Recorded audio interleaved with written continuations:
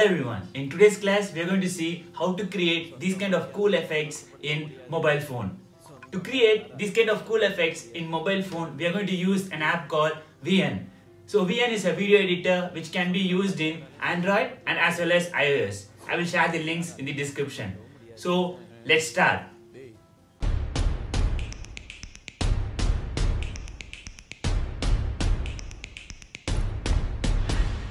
Text masking in VN Video Editor using mobile phone.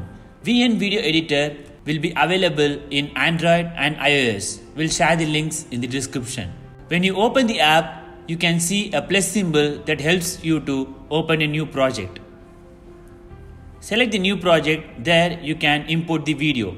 Select the video you need. Talking about the interface, there will be a little change you can't see stocks and title in the Android version as you see here. Video imported in the timeline. Let's play it and check where we are going to apply the effect. This is the area where I am going to place the text and use the effect.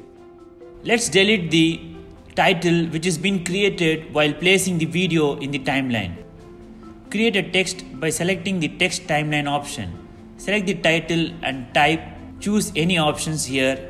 Select the text and in the above you can see an option called edit. Use that edit option, select it and type the text. You can select any font style for the text. To increase and decrease the font, drag the size option below. I have selected Bebas font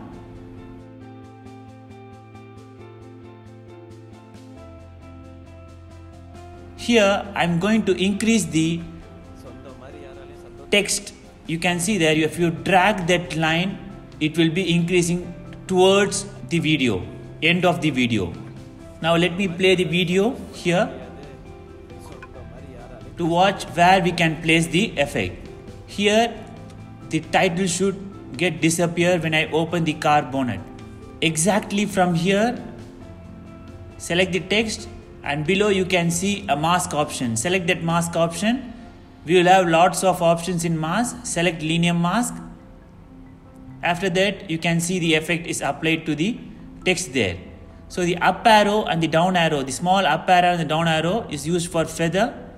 Linear mask is used the operation of the linear mask is moving upward and downwards. Let's analyze where we should apply this effect. So let's select the keyframe. Here. From here it's going to start.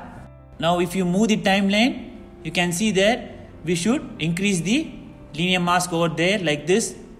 You have to push upwards. Thus, that one is for feather option for the text. The keyframe will automatically will be created. If you just move and move the linear mask above a little bit and move it again in the timeline and move the linear mask little bit push the timeline over there and move the linear mask little bit. Here in the end frame this is the end frame. Move it fully. Now you can see there just click tick. If you play here you can see there it's moving smoothly. The text is being removed smoothly. This is how we create text masking. Now press the export option and give export.